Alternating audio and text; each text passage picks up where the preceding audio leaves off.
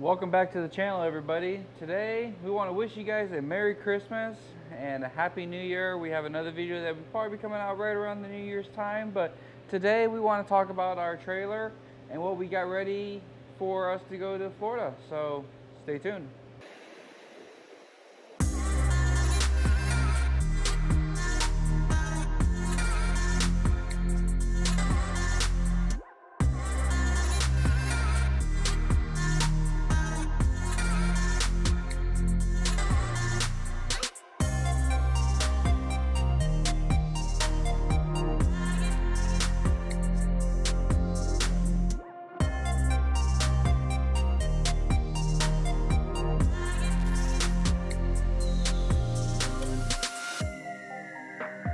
So today we are going to talk about our trailer a little bit and the G, uh, diesel heater that we installed for this Florida trip that we're getting ready to head down to. So um, let's talk a little bit about that. But before we go and uh, start talking about that, I want to thank everybody, all my subscribers, everybody that continues to come back and support the channel and continue to go down that path. One of the things that we are doing for 2022 um, we are going to be creating a calendar for the Bronco Sport and the Broncos. Um, and this will be any Bronco from the beginning stages back in the 60s all the way to today. Um, so you, if you have a Bronco that you're wanting to be, uh, try to get put into this calendar for 2023 to 2024, make sure you stay tuned for it. Um, we are we do have some information down below in the description as far as how you guys can sign up um, some stipulations for that. But uh, we do have that coming up where if you guys want to support us with that, we have a calendar for some of the Broncos coming out. Um, we want to see what you guys have for Broncos too. So uh, send us some photos, send us some information. We'd love to hear, hear and see some of that kind of stuff. Um, here at the channel, we do a lot of overlanding stuff and we do a lot of off-road building and all that kind of stuff. So the Bronco will be getting lifted. We do have a lift kit on, on the way. Um, we are working with a manufacturer out on the East Coast, and we'll have more information with you guys as soon as we finalize all the details and get you guys with that information there. Um, it is not a rough country kit, it's a USA built kit here in the States. A little bit more rugged, a little bit better design, so hopefully, hopefully we can get that in the next few weeks and get that put on. So so if you guys are new to this whole overlanding and trying to winter camp, what we're trying to achieve here is we're trying to achieve some sort of goal where we can stay warm in the wintertime um, and still actually be able to go outdoors and do stuff. So we did a lot of research on these here. And this here is the, it's a Chinese knockoff of a Webasto diesel heater. And basically it feeds diesel into the chamber inside here. Air flows in through here combust in here. Then you got a fan on the backside that kind of pushes and pushes the heat this way. So down below underneath we cut a hole and we got a turret plate and everything else to help kind of seal it up and we got more information. If you guys haven't seen the videos, uh, make sure you guys click right here up on the right. There's a whole bunch of different videos that we saw, but this is the guy here that probably explains it the best um, on the diesel heaters and what you, you, can do for some of the stuff. They have crazy amount of safety features put on some of these to kind of help protect you guys. Um, but yeah, so we, with this here, we do have the exhaust and the intake and the fuel lines up underneath the trailer here. Um, and we basically have the exhaust venting out to the side here. We have the intake kind of tucked inside the frame underneath here. And then we have a fuel line that runs all the way from the front to the back. So we got the we got the diesel fuel tank here. We got the line that runs all the way back here.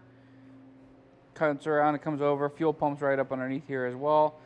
But we have these two, some jerry cans. These are going to mount actually our diesel and our um, water storage for when we're on the trails. Right now I just put the, the fuel ones on there because we're still mocking up some stuff for the Bronco to put these two cans on the actual Bronco um, and then put the water, the fresh water and the diesel storage for additional fuel back here. So um, super simple design the way they did this. Um, Webasto actually has the nicer version. This here is about 150 to 200 dollars, depending on which uh, one you want to go with.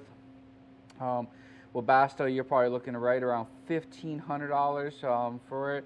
Um, same design, same setup. Um, this is just a Chinese knockoff. So we have inside here, we have our bed and everything put back in here.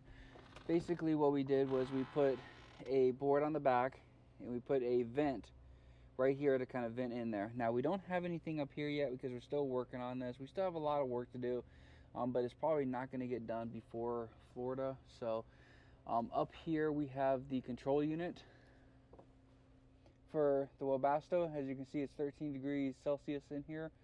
Um, and then right next to it, we got the USB, and then we have um, the unit that actually controls a lot of the power out, I'm sorry, the power fluctuation and stuff that we can actually monitor here that shows us the current voltage and the percentage. Um, but we'll talk more about that at, on a different video. Um, so yeah, yeah, pretty simple design, works really good. Low, low fuel for us to be able to stay warm at night. Um, come over here so you get a better view. So basically that's that's the control unit there. You can set it so that you can do timer mode or you can set it for degrees so we can bring it up to a certain degrees. Right now it's off because we do have the the trailer inside the garage because we are still working on it. One of the things that we did was we added this here and this here is a cover that just pops off here and basically we just take this adapter here put it on here. This is all watertight. Uh, this is actually for a sewage system. Um, no this is not a used setup. This is a new setup. So we basically put the hose there. When we deploy the rooftop out we put the hose right on top there and well bam. We have heat. I know. It's kind of a corny design. We still got some cleaning up to do. We got some caulk and stuff here that we got to clean up. Um, but we were getting that all sealed up. And yeah so like I said we, we need to do a video. There's there's plenty of videos. There's plenty of information out there about these. No reason to reinvent the wheel and show you guys something that a lot of people are already doing. So I'll kind of give that credit to those guys and make sure you guys go and check them out and see see some different things that they give and some different tips. You guys can kind of be your own judgment over that kind of stuff. But we also have in our 270 degree Rhino rack Batwing. Now we will be talking more about this on the trip. We will be deploying this and using this as well. But um, that is actually the Christmas gift my wife got me for this year for the trailer so that we can kind of expand that out. So I was super happy to get that. We got that mounted immediately. So yeah, super excited to get going to Florida here soon. We do have a lot of work. We still got some trim and stuff we got to all finish up. Um, we were going to use this kind of trim here, but we picked up some the other day. We're going to get that trim all mounted up and get it looking nice in here. And then we got some cabinets and stuff we're going to still finish off and build down down here. So we still have a lot of work to do. So I'm hoping you guys like that video. Um, like I said, we got a lot coming up for 2022. If you guys have not seen, we have that calendar that we're going to be working on building for the Bronco and Bronco Sports. Just because we're a Bronco fanatic around here. Yeah, we used to be Jeep, um, but after driving the Bronco and driving the full-size Bronco a few times, I'm converted. I'm sorry. I know I know you guys all really want me to stay Jeep and really want to see the Jeeps out there, but there's thousands of Jeeps, there's millions of Jeeps, so we're going to do something different. We're going to start building the Bronco. We got the Bronco Sport ready. We're going to work on getting that lifted. We got some more work we want to get done to it. Um, and we're going to show you guys the capability of what that Bronco Sport can actually do. So like I said, we already pulled the trailer. Does extremely well for that on the trails. We did take it to Grand Canyon. Uh, we were trying to work our way to Point, point Sublime um, because of some of the terrain out there. Um, I've seen this on a few other Bronco Sport forums uh, where people are having this problem where they scrape too much on the bottom. Um, you basically damage the heat shield, and that heat shield will start rubbing against your drive shaft. It'll sound like something's something's grinding down there, but it's actually it's actually your drive shaft rubbing against the, the heat shield. So there's modifications that's going to be coming up that we did here, where we just took a couple simple um, angle iron, popped them up in there, bolt braced it up so that it was actually away from the away from the drive shaft like it should be. And once we start working on trying to get some skid plates and stuff up underneath there, that should take care of a lot of that stuff.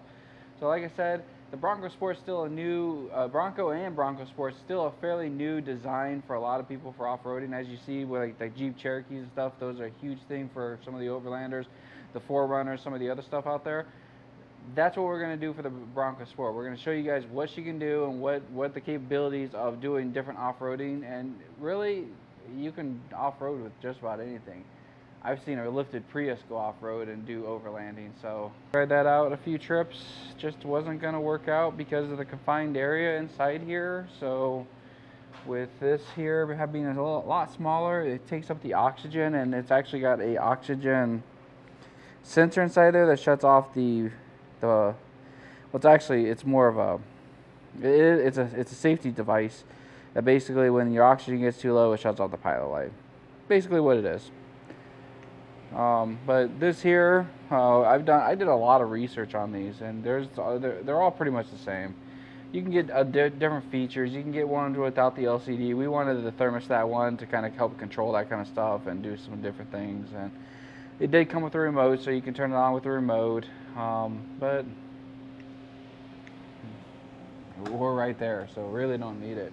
Um, the main goal was so that we could stay warm inside here, and then we can also push heat to the rooftop when we have that deployed out on the trails if the kids are with us or whatever. And I'm looking forward to try to do some stuff with my kids this year and try to get out of the house and get them away from some electronics. If you guys haven't seen, I've been trying to do more and more where I go out and do stuff. I'm trying to get my kids to get, I'm trying to get more involved with that because I don't want to see them stuck behind electronics and stuck on the internet.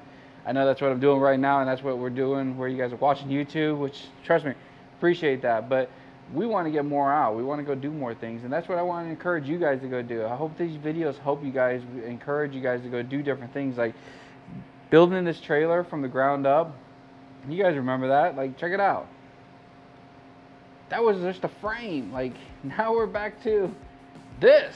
Like, this is what we achieved with it. And it, it's crazy because I'm super proud of myself for this because as you guys have seen, I've, I've, I've been problematic for trying to actually do different projects on here, and not finish them. So this one here, I'm finishing up. I'm having fun with it. You know, it's a great thing. It's a great bonding thing me and my kids have been doing because I've been teaching them some stuff. They've been teaching me some stuff about different things. So it's a kind of a two-way street. You never stop learning. Um, I've always heard the saying that if you ever stop learning, that's the day you die. So like you're, you're always to learn something every single day. So yeah, that, that one was like, I, I kind of repeat the same thing over and over and I'm trying to get better at it. So yeah, kind of the behind the scene bloopers that you guys see where we just, we stop recording or we basically don't do it and we don't post it on YouTube. So yeah, this is, this is, I'm super excited. So let's go make some videos and let's get this posted for you guys for Christmas Day. See you.